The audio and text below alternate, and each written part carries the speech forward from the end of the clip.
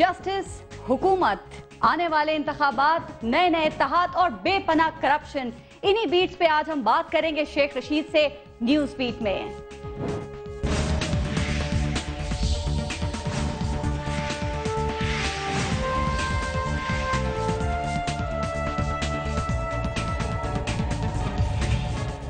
Welcome to news beat मैं हूँ पारस खुर्शीद।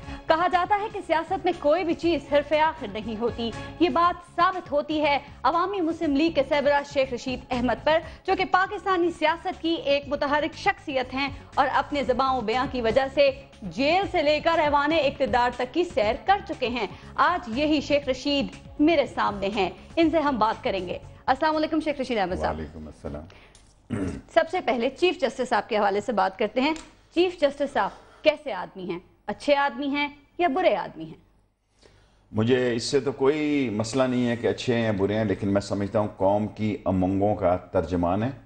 कौम उनकी तरफ़ देख रही है और वो पूरी कोशिश कर रहे हैं ये जमहूरियत चले। जब भी तारीख लिखी जाएगी सो ये पहले चीफ जस्टिस हैं जिसने डिफेंस कॉलेज में जाके कहा है कि मैं आर्टिकल सिक्स लगा दूँगा अगर फौज ने कोई गैर आइनी काम किया। हालाँकि ऐसे रिकॉर्ड नहीं है लोगों के। कि उन्होंने ऐसी जगहों पे जाके ऐसे खिताब किए और लेकिन सारे केस इन्होंने भी सजाए हुए हैं फैसलों का दौर शुरू हो गया लेकिन आप कह रहे हैं काम उन्होंने अच्छे किए हैं फिर आप उनको ऐसे मशवरे क्यों दे रहे हैं जो कि बहसीत चीफ जस्टिस उनके लिए नामुमकिन है? क्या आइन की खिलाफ वर्जी नहीं है? क्या आइन ये मोम की नाक है? क्या आइन है ये जिसमें के कोई कोई आम आदमी की ज़िंदगी की आसाइश सोच उसकी जस्तजू उसकी लगन का कोई दखल नहीं। ये आइन बड़े लोगों के चौंचले हैं जमहूरियत के नाम पर डकेतों का कब्जा ग्रुप है। आइन का एहतराम करना चाहिए होना चाहिए आइन को सलाम है पर आइन के नीचे जो गंद बिच रहा है देखें जो छतरी लगा के आइन और जमहूरियत की जो इस मुल्क में हो रहा है जो इस मुल्क में जुल्म की दास्तानें जगह जगह चल रही हैं गिलगित से लेके कराची से लेके कोयटा से लेके और सारे अब इस्लामाबाद में भी। पंजाब में भी। क्या आइन के खिलाफ? वो सब सही है लेकिन चीफ जस्टिस को आप कत्ल के मशवरे दे रहे हैं? नट कत्ल। कत्ल का मतलब ये नहीं होता हम्म। कि ड्यूम। कोई एक गोली का पिस्तौल उसके पास हम्म। पहले चीफ जस्टिस के पास एक गोली का पिस्तौल है। हम्म। वो आइन और कानून का पिस्तौल है। मैं जब कहता हूँ कि kill him kill doesn't mean के shoot him there is a difference between kill and shoot अच्छा। या ये बात हमारे उर्दू मीडियम को लोग समझते हैं हम वैसे ही वहाँ वहाँ राधा राम से आए हैं या कोई छोले देकर पास हुए हुए हैं हम भी मास्टर डिग्री और लॉ ग्रेजुएट हैं हम क्या फ़ायदा हमने किसी बड़े आदमी के नीचे नौकरी नहीं की आप कहते हैं चीफ जस्टिस के सुपुर्द कर दो निज़ाम हुकूमत क्या ये चीफ जस्टिस का काम है कि निज़ाम हुकूमत को चलाना जो निज़ाम दीन लोहार चला रहे हैं हाँ। जो हुक्मरानी के यहाँ मशगले हो रहे हैं हम्म। जो यहाँ लूट मार का बाज़ार गर्म है अभी तो एक एफिडीन केस है। जिस दिन कोई आ गया आँखों वाला और डंडे वाला डंडे वाला मीन फिर ये ना कहना कि मैं फौज को कह रहा हूँ। A man with commitment a man with a decision ग्यारह नशे की गोलियाँ ग्यारह खाम माल मिनिस्ट्री ऑफ़ हेल्थ ने इतने बड़ी तादाद में दिए हैं इस मुल्क में कि ये हुकूमतें बैन हो जाएँगी। इनकी मेडिसिन बाहर नहीं बिका करेगी। जो दवाई 33 ग्राम की इजाज़त है जिस खाम माल के 33 ग्राम की इजाज़त है उसके 13-13 किलो के इन्होंने लाइसेंस दिए इन लोगों को और सियासतदानों को दिए बिल्कुल सही बात है साबित नहीं हो सका आप अदालत चले जाते ना साबित करते इस चीज़ अभी को। तो देखें कोई चीज़ भी ऐसी नहीं मेरी बात सुने ना मेरी बात हम्म। सुने मेरी गुजारिश सुने आप हम्म। कोई चीज़ ऐसी नहीं जिसका सबूत ना हुआ हो ये सारे लोग जेल का माल है जमहूरियत की छतड़ी थले इन्होंने ये हम्म। सारा यूसुफ रजा खानदान एंड कंपनी ये मियाँ बीवी बच्चों समेत ये ये सारे अंदर का माल है। ये अडियालियन सब अंदर जाएँगे इनशाला कलंदर का नारा लगेगा और ये अंदर होंगे। अच्छा। कलंदर कलंदर के नारे लगेंगे ये अंदर अंदर होंगे थोक के भाव होंगे। अगर नहीं होंगे तो इस मुल्क के साथ ज़्यादा होगी। इस मुल्क के साथ जुल्म होगा इस मुल्क के साथ क्योंकि मेरी अब बात सुन लें जिलानी साहब की फैमिली के हवाले से आप बात करें ना आपने एफिडेंट की भी बात की अभी। हम्म। वो हनीफ अब्बासी साहब के लिए आपने कहा था अदालत लेकर जाऊँगा अदालत में नहीं खेचा मेरा ख्याल है आपने। उन्होंने मुझे कहा था हम्म। कि मुझे 25 करोड़ का नोटिस दिया जी जी जी जी जी ठीक है? जी। मैंने वो एक्सेप्ट कर लिया। हम्म। ठीक है जी? उन्होंने ये कहा कि मैं उनको अदालत में लेके मैंने तो अदालत में उनको क्यों नहीं जाना था? मेरा तो कोई मसला नहीं है वो। उन्होंने मुझे 25 करोड़ का नोटिस दिया। महफूज यार खान साहब हमारे लायर हैं हमारे सुबह सिंध के सदर हैं। उन्होंने उनको कहा कि भाई हमने एक्सेप्ट कर लिया हमें अदालत में लेकर जाओ। ठीक। सो हम मेरा तो मैं तो मुद्दा ही नहीं था कि मैं जाऊँ। मैंने उनको कहा कि भाई ये लोग एक नहीं लातादाद लोगों को अब खबरें लगवाई जा रही हैं कि वो खांसी की दवाई कम हो गई नजले की दवाई कम हो गई और चोर के बच्चों कम हुई क्यों?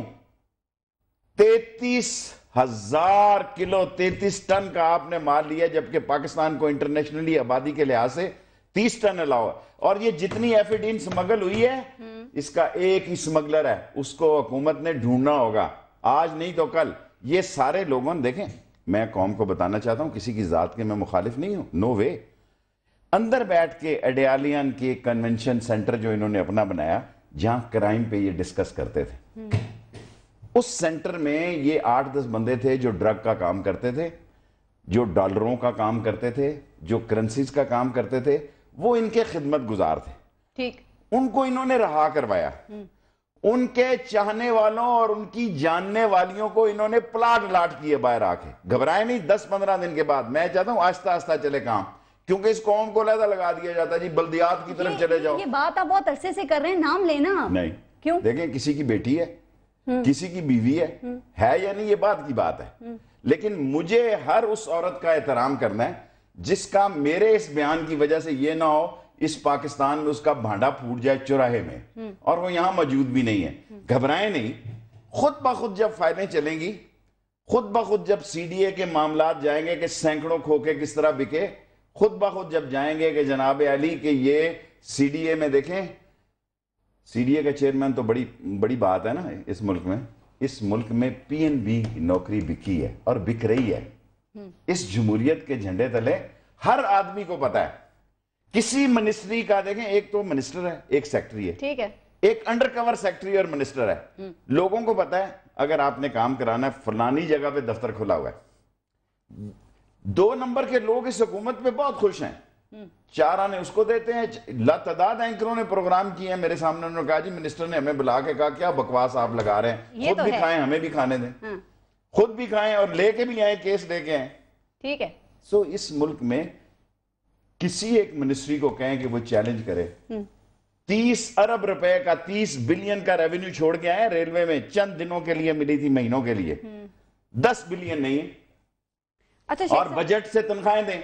लातादाद बड़े अदारे जिनमें मजदूर एक ईंट उठा के यहाँ से भी नहीं रख रहे और अफसरों को 25 फ़ीसद तनख्वाह दे रहे हैं, पचहत्तर फ़ीसद घर लेके जा रहे हैं, खुद कहीं और काम कर ठीक है। अच्छा एक एक बात, आपके मैं बयानात पे कुछ बात करना चाह रही हूँ, फिर जो भी बातें आएँगी वो भी बीच में होती रहेंगी।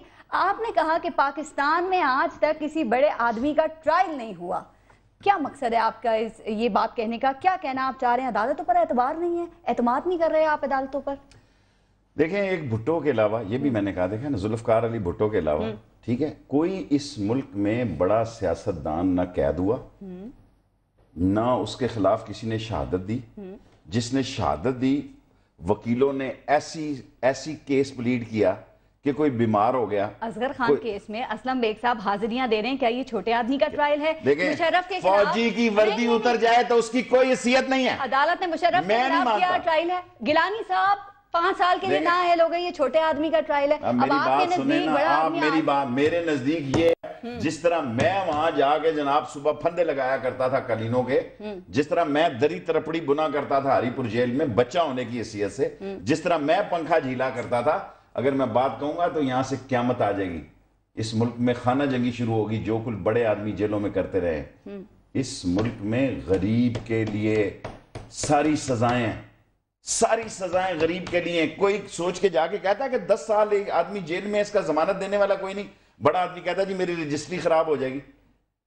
एक लाख दो लाख की जमानत पर गरीब बैठे हुए हैं चार चार साल से। कोई है इतने बड़े लोग आज टीवी का प्रोग्राम सुन के कहें कि जिसकी भी पाँच लाख रुपए की जमानत है वो दो दो तीन तीन सालों से अंदर है हम उनको निकलाते हैं? हम्म, कोई हैं ऐसे बड़े लोग जो बड़े बड़े कहें जी दो दो चार चार लाख रुपए जिनका जुर्माना है हम देते हैं और इस मुल्क में बहुत सारे लोग बेगुनाह भी फांसी पे चढ़े हैं। मैंने अदलिया खुद बेबस हो गई। इसका मतलब अदलिया बेबस हो गई आप ये समझ रहे हैं। अदलिया कोशिश तो पूरी कर रही है।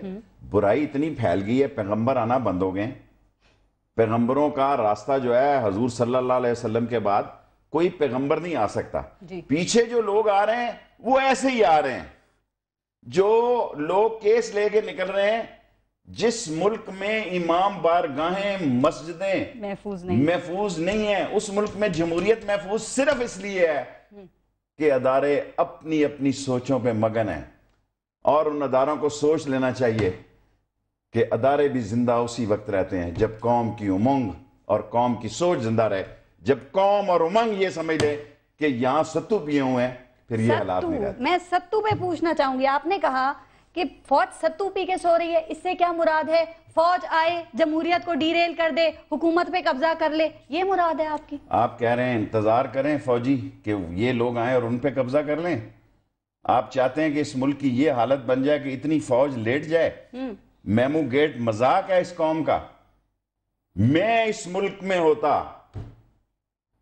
On memogate I have to take the action when a chief justice in a front of a court chief of army staff and the DG ISI DG ISI means the man who is commanding 11 जर्नैल जो शख्स 11 जर्नैलों को कमान कर रहा है, वो जाके कहता है, ये कुत्ती चोरों के साथ मिली हुई है।